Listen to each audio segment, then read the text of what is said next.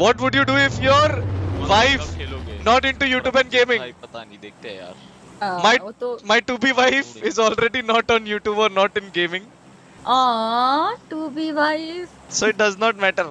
हम लोगों ने अडेप्ट करना सीख लिया है कैसे क्या करेंगे आगे चल के। No worries and we are very happy क्या बात है मोटे। जी।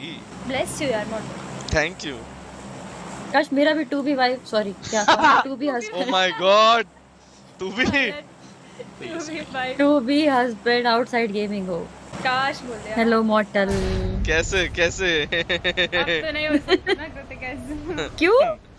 क्यों नहीं हो तो सकते? ना काश हो ऐसा। काश हो मतलब फ्यूचर में मिलेगा अभी थोड़ी मिला है। अच्छा। अच्छा अच्छा अच्छा। या। नेम मैं नेम अभी नहीं रिवील कर सकता मैं उसको पर्सनल रखना कोई चाहता बात नहीं अगर मॉर्टल ने मेरे को परेशान किया तो मैं रिवील कर दूँगा। नेम नेम मैं बाद में आफ्टर मैरिज ही लूँगा।